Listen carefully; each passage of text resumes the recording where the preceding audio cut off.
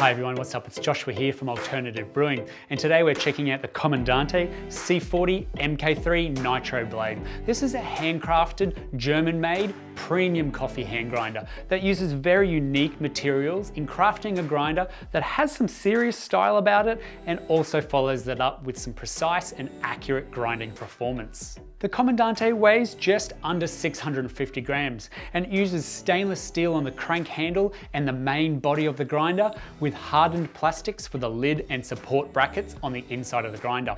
There's a smooth oak wood pommel and the veneer wrap to the outside of the Comandante, giving it that beautiful wooden look. And each of these grinders uses two glass grinds catchers that come in the box, one clear and one amber.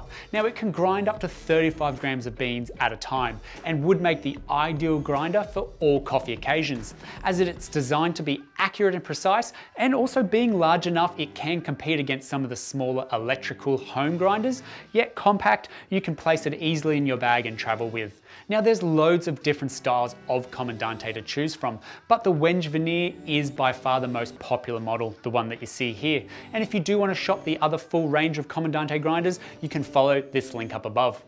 Taking a look down through the grinder, we have a handle and lid combo with the pommel. It's quite a nice size. It makes transferring your energy through the grinder really easy. It's quite comfortable to grip onto as well. There's the clear lid, and this helps prevent any popcorning or bouncing out whilst you're grinding those beans. And this all attaches to the axle really securely, nice and tight, so there's no chance of it slipping off through the rotation of the handle.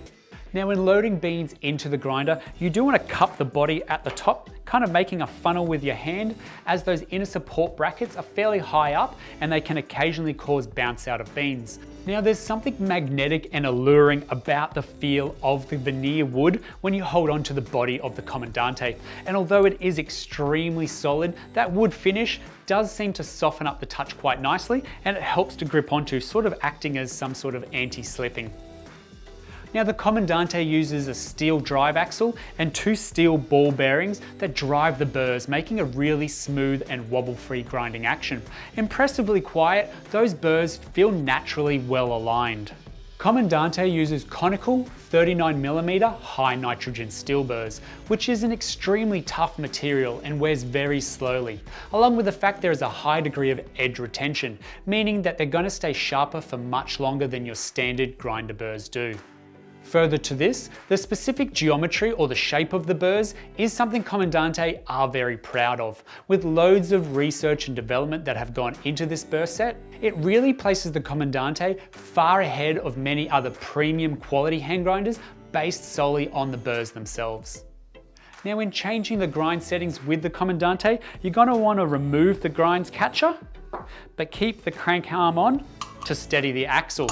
And you find the dial underneath the burr set, and then you just need to change this left or right depending on how coarse or fine you want to go. There's also a diagram available on this burr set to let you know which way's for finer and which way's for coarser. Now the Comandante is a stepped grinder, and whilst this may be seen as a handicap, the 12 steps per rotation of the dial give you plenty of options for dialing in the perfect recipe and it will grind for any brew method, from Turkish coffee at 5 clicks or under, to espresso around 7 or 10 clicks. I found Moka Pot is around 15 clicks, and if you're using say an AeroPress or Delta Press, or pour overs like the V60 or Chemex, your range is going to be somewhere between 18 and 28, and the French press or cold brewing from around 30 clicks onwards. Now the Comandante will grind very consistently across all these grind sizes, but it could be said that it is a little bit more difficult to dial in the perfect espresso brew because of those predetermined step settings. And in light of this, Comandante released a Red Clix upgrade available in the shop link up above here. And what that does is it upgrades your standard Comandante grinder from having 12 clicks per rotation and it bumps it up to 24 clicks per rotation, therefore doubling the settings you have to dial in the perfect espresso. Now, not as much a flaw as it is a hindrance. If you forget which setting you're on, there's no way of really knowing what it's set at. So it's important to know how to find the zero point on your Comandante. To do this, all you need to do is hold your grinder horizontally and keep adjusting fine a couple of clicks at a time, lift the handle, and when it doesn't fall again, that's the zero point. From there, you can count the clicks back up to your preferred setting. And the otherwise excellent construction of the Comandante ensures these settings are universal across every one of its grinders. So you're able to share yours and use other grind settings to dial in quicker, tastier coffees and I've also added the recommended grind settings from Comandante in the description down below. So in demonstration on how the Comandante does perform, I'm gonna grab out an 18 gram dose of lightly roasted coffee, and I'm gonna set my Comandante to around a 27 click. We're gonna time it and see how long it takes.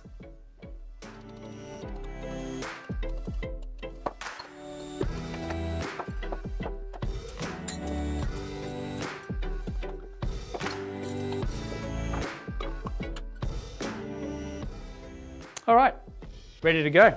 Start the timer.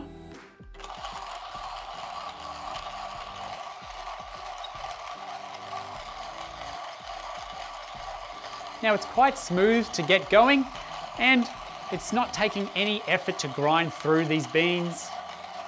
I'm taking it quite casually. It Doesn't feel like there's any slipping going on. Coming to the end of my 18 gram dose and it's done. Quick tap at the bottom just to get uh, rid of any grinds that might stick up to the bottom. And that was around 35 to 40 seconds right there. Yeah, sweet, pretty happy with that. These glass catches are easier to clean and having two does open up a few options. You could store pre-weighed out doses in both, say if you're traveling away for a weekend and take all your coffee. You could also keep one as your grinds catcher and the other as your dosing cup, as it does fit perfectly to the top of the Comandante, thus avoiding any bounce out.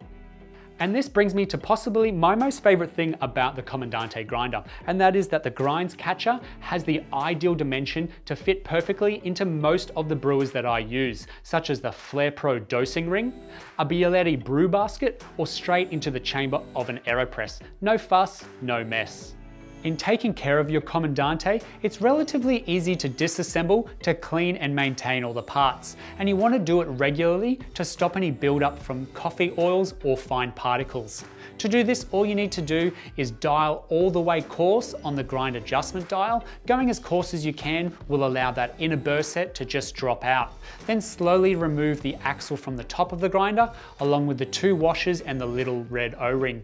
You'll be able to access the inside of the grinder this way, wipe everything down with a dry cloth. You want to ensure it all goes back the right way to ensure proper function. And that's the Comandante C40 MK3 Nitro blade for you.